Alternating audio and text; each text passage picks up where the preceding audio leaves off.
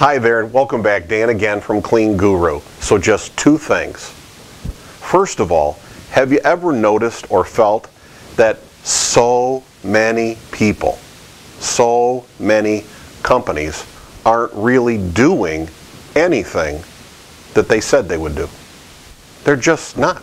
So many of them. You probably have people that you've called or you're looking for someone that needed to do some work for you and no one calls, no one shows up, there's no follow up, no one even presents a price to you.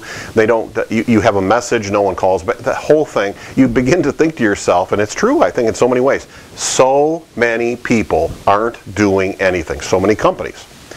That is the first thing that's a huge opportunity for you and your cleaning company.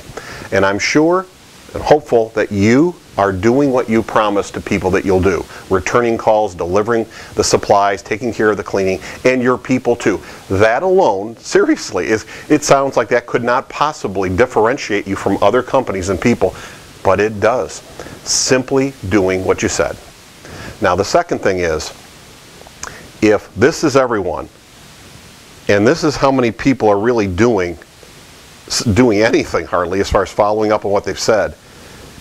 Here's how many people are really doing anything new. Nearly no one is doing anything new.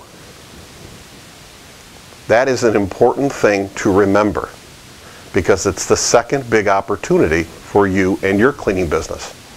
If you do, you are in quite good but a small group of people that are offering something new.